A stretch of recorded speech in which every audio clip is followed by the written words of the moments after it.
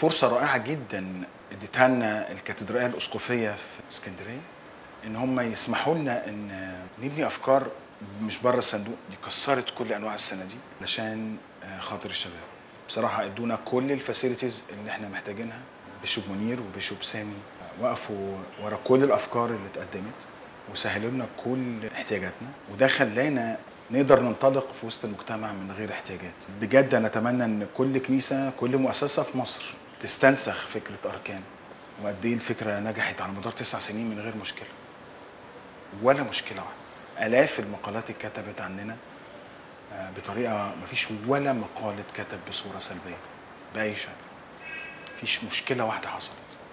وده يدل قد إيه آه، الشعب رائع والدنيا بسيطة جدا في مصر. وده يشجعنا إن إحنا ما نركزش على السلبيات أو على الناس اللي بتفكر بطريقة سلبية. لأن معظم الناس طيبين جدا ومحتاجين يعيشوا حياة أفضل. كل اللي إحنا محتاجينه إن المؤسسات تقف وراهم بقى. يعني كل واحد عنده عمارة عنده مؤسسة عنده مصنع. ده اللي أركان بتحاول تنشره. لو إدى مساحة الناس ما يعرفهمش لناس جيل جديد في مجال يفكروا بطريقة مختلفة عنه يسمح لهم بالتفكير. يحتضن المجموعات يسمعهم ويشوف أفكارهم. ضروري هيطلع من وسطهم أفكار أروع بكتير جدا من اللي هو فيها كمؤسسة أو تقدر توسع نشاط المؤسسة أو تحسن نشاط المؤسسة أو تفيد قطاع جديد. دي فكرة أركان إن. بتمنى إن كل مؤسسة في بلدنا تفتح أبوابها للي ما تعرفوش. مش لأهلها بس. يعني لو كنيسة مش تفتح للمسلمين بس المسيحيين بس تفتح لكل المجتمع. ما تحطش شروط. وهي تنقي بقى المؤسسة دي الأذكياء اللي بيعرفوا يفكروا الأفكار الجديدة اللي ممكن تفيد واللي هي تقدر تساعد بيه تساعد بيه. ده هيعمل طفرة في التنمية بدون تكلفة لا على المؤسسة ولا على الدولة ولا على المفكر بس هيدي مساحة التعاون ده هيدي مساحة لاحتمالات تنمية عالية. أتمنى إن اللي حصل في أركان جوه الكاتدرائية الأسقفية يتكرر في كل مكان في العالم العربي. هيشوفوا حضارة جديدة خالص. أروع بكتير جدا من الألم الاقتصادي اللي إحنا عايشين فيه. الوعي هيزيد السلام هيزيد الإضطراب والكهرباء اللي إحنا عايشين فيها هتختفي. هيبقى في أمل في كل عيله الفقير والغني هيبقى عنده أمل. فقط لو المؤسسات اتعاونت مع ناس ما تعرفهاش. أمين. إيه هي فكرة أركان؟ وإزاي نشأت؟ أركان فكرتها إنها تجمع أركان المدينة لصالح الشباب. أركان كل همها تكون سبب بركة في حياة الشباب إن الكنيسة تقوم بدورها في تنمية المجتمع وتجمع أركان المدينة بطريقة عملية لصالح الشباب. بدأت مع الثورة 25 يناير طلبنا إن إحنا نفتح سوري الكاتدرائية للتعامل مع الجمهور. الأمن والكاتدرائية والناس كلها كانت موافقة على الفكرة إن إحنا نوجد أبواب كباري سلام بيننا بين كل الناس وبعضها وقت الاضطراب اللي حصل. والكاتدرائية الأسقفية في المنشية بادرت بالفكرة دي يعني إن إحنا نفتح مشاريع تكون سبب صناعة سلام بين أبناء الوطن. إيه هو هدف رؤية مركز أركان؟ إنها تقدم نموذج للدولة للكنايس للمؤسسات. ممكن يستنسخ ممكن يتم استنساخه في بناء في احتواء المؤسسات للأفكار الجديدة للجيل الجديد. ومساعدتهم إن الأفكار دي تتحول لمشاريع سواء لصالحهم أو لصالح البلد عموما. اركان بتقدم نموذج سهل لكل أصحاب المؤسسات يدرسوه إزاي يحتضنوا الأفكار الجديدة للشباب ويحولوها إلى مشاريع لصالح البلد والشباب.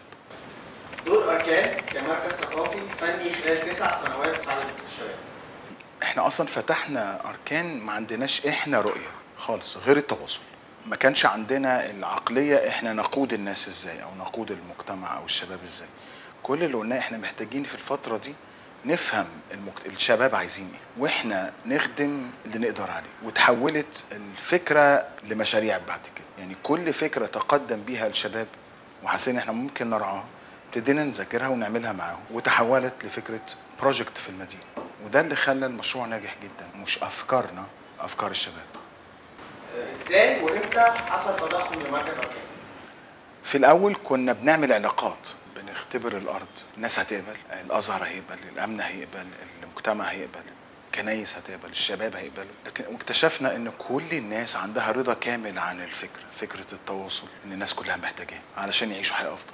ولما ابتدينا نقعد مع جروبات الشباب ون فقط نعلمهم إزاي يحولوا افكارهم التطوعية لمشاريع الموضوع تضخم جدا. حولنا الفكرة ان إحنا الشبان محتاجين إيه؟ قانونا محتاجين إيه؟ اداريا إيه الكورسات اللي تساعدهم يبنوا بيزنس من خلال اعمالهم التطوعية. إزاي ده يتحول بصورة عملية لصالحهم وصالح الدولة؟ الموضوع تضخم جدا. إيه هي مشاريع مركز أركان الحاليه؟ أركان عاملة حوالي في سنة 2019 وصلنا لحوالي من 14 ل 16 مشروع ماشيين كويس. من أنجحهم آه، فكرة المعارض المستمرة. إحنا عملنا مشروع معرض فن بلا أسوار. كل 60 يوم بنعمل معرض مفتوح في الشوارع الكاتدرائية. لكل مبدع في المدينة من غير شرط ولا قيد. وعملنا مدرسة اسمها مدرسة مورستان لتكنولوجيا القنوات الفضائية. يعني إزاي نعلم شاب يحترف صناعة الميديا داخل أي قناة أو شركة إنتاج أو سينما. عشان كده سميناها حاجة جنان هي كانت مدرسة جنان خالص لأن إحنا قارنا نفسنا بالمركز الثقافي الروسي بيدرس قد إيه آه، في المجال ده يعني وبكام كانت التكلفة بالنسبة للإنسان العادي عالية جدا. فإحنا قلنا هنتجن ونعمل حاجة تقريبا ببلاش للمجتمع. عشان كده سميناها مورستان. فكرة ثالثة حابب أكلمك عليها فكرة مشروع الغنى لأول مرة مسيحيين مسلمين يقعدوا كعيلة يغنوا من غير شرط ولا ولا قيد بطريقة ملهاش أي علاقة بأي أشكال من الغنى في الشرق الأوسط كله والناس كلها حباها وبتتضخم بشكل رائع. وشد ناس كتير يجوا يشتركوا معنا حتى اللي صوتهم وحش. إحنا متخصصين طلبنا فقط اللي صوتهم وحش والنتيجة روعة المشروع الرابع من مشاريع أركان عملنا فكرة النادي الإنجليزي. اكتشفنا وسط الشبان أن مشكلة الدخل في حاجزين لنمو الدخل اللغة الإنجليزية والكمبيوتر. فبنكسر الحاجز الكمبيوتر في مدرسة مورستان وبنكسر الحاجز بتاع الإنجليزي في مدر... في النادي الإنجليزي. النادي الإنجليزي مجموعة شباب بيتكلموا إنجليزي كويس وفاتحين المجال لعلاقات مفتوحة مش أكاديمية يعني. لأي حد نفسه يعرف يتكلم إنجليزي بسهولة بطلاق. لأن معظم المصريين بيعرفوا يتكلموا إنجليزي بس بيخجلوا يعني. فمحتاجين مساحة ياخدوا على اللغة عملي. فالنادي الإنجليزي دوره يعمل كده.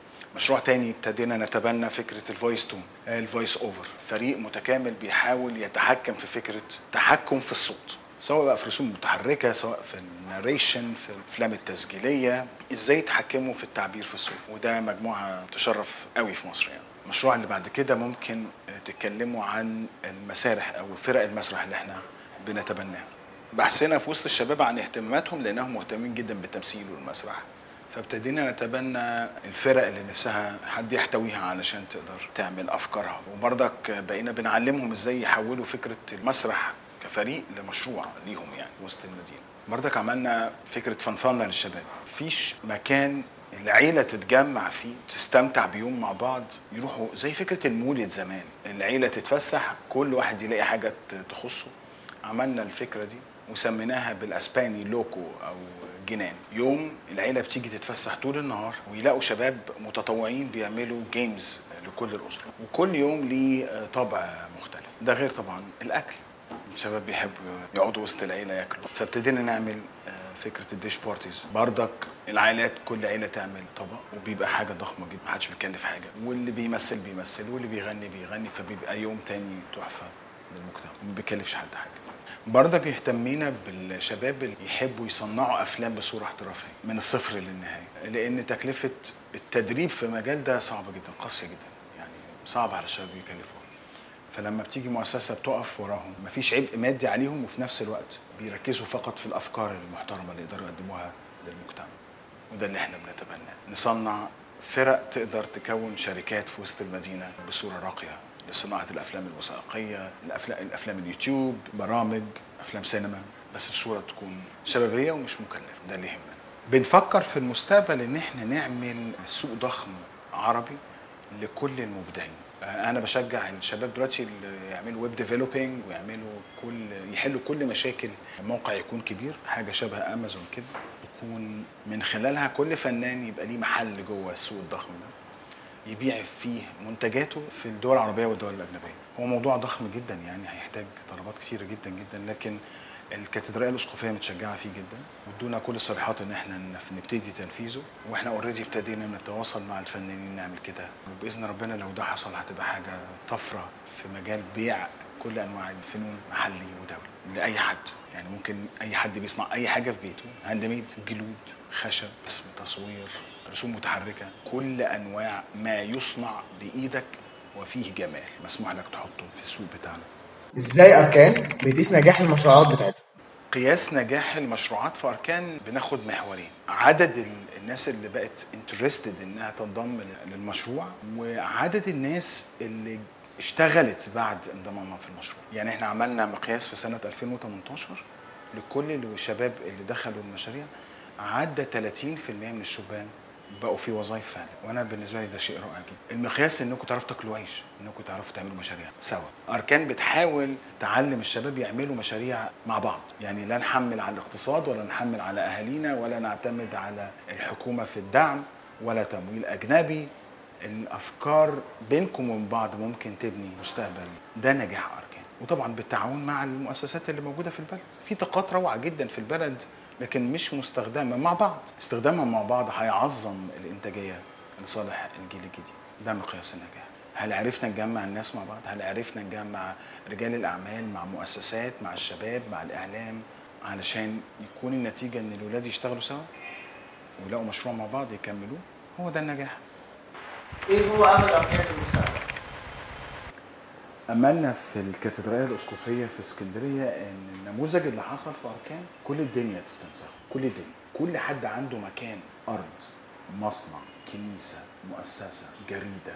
لو شافوا البركة اللي أركان فيها المجتمع اللي اتبنى جوه أركان نتمنى كلهم يغيروا ويعملوا كوبي مصر تتحول أوروبا في شهر من خمس سنين في حدود خمس سنين. نبقى أوروبا. فقط بالطاقات اللي موجودة. ده أملنا. آمين. ربنا قادر يعمل كده. ليه أركان اتسمت اركان؟ أنا سمعت إن في فتاوي كتير في موضوع اسم أركان وليه سميناها أركان.